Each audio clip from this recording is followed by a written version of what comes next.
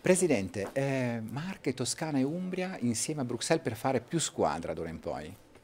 Beh, questa è una tappa importante di un percorso cammino che stiamo facendo assieme, di una forte collaborazione in quelli che sono i settori più importanti della vita delle regioni, dalla salute e il welfare allo sviluppo economico, all'ambiente e ai servizi.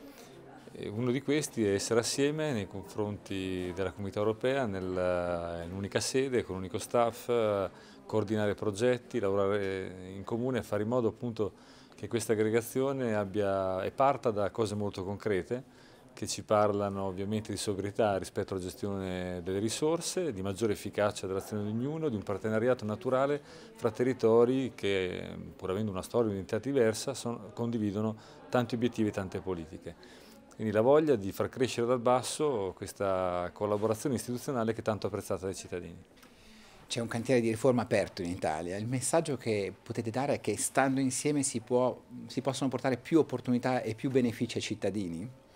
Ma è anche che rispetto alle riforme, che eh, abbiamo visto qualche volta declinate diciamo, ottime in termini di principi, poi con una pratica che cadendo dall'alto rischia di non essere altrettanto efficace, almeno quante erano le premesse.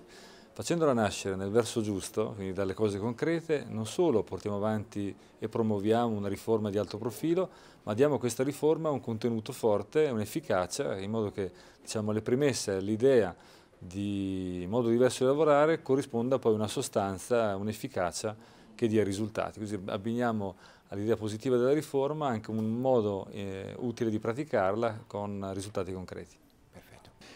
Bene, dunque Presidente, quali sono i primi passi concreti per questo lavoro comune?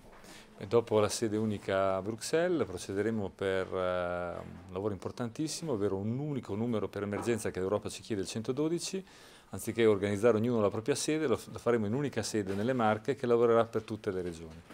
Un altro aspetto, l'aggregazione sugli acquisti. Sappiamo quanto è importante avere centri unici di acquisto e anziché produrlo uno per regione, lavoreremo per un unico punto, molto probabilmente sarà in Umbria, in termini fisici, poi lavorerà con soggetti che stanno nelle varie regioni, che ci permetterà di unificare gare importantissime, parliamo di milioni e milioni di euro, con un risultato di dare qualità alle gare e poter risparmiare. Quindi atti che proprio parlano in maniera diretta al quotidiano delle persone e fanno capire il valore di questa collaborazione. Perfetto.